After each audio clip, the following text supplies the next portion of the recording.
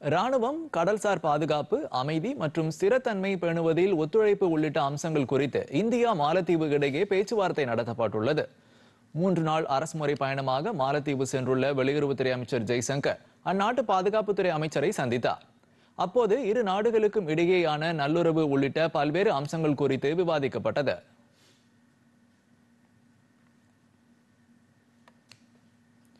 முன்னதாக மத்திய அமைச்சர் ஜெய்சங்கர் மாலத்தீவு வெளியுறவுத்துறை அமைச்சர் மூசா ஜமீரை சந்தித்தார்.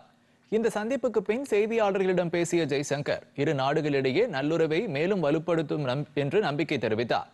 வளர்ச்சி கட்டமைப்பு பாதுகாப்பு வர்த்தகம் மற்றும் டிஜிட்டல் ஒத்துழைப்பு உள்ளிட்ட அம்சங்கள் தொடர்பாக இந்தியா மாலத்தீவு இடையே புதிய ஒப்பந்தங்கள் கையெழுத்தாகியுள்ளதாகவும் மத்திய அமைச்சர் ஜெய்சங்கர் குறிப்பிட்டார். We hope to build on these successes and expand this cooperation to greater heights. Friends, as you all know, India, through its unified payment system, UPI, has actually revolutionized digital transactions. In India, it has taken financial inclusion to new levels. Today, 40% of the world's real time digital payments actually take place in our country.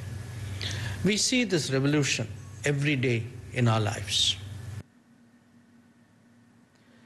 முன்னதாக சாலை வசதி சுகாதார மையம் குழந்தைகளுக்கான பேச்சு பயிற்சி மற்றும் சிறப்பு கல்வி உள்ளிட்ட ஆறு திட்டங்களை இவ்விரு தலைவர்களும் தொடங்கி வைத்தனர்.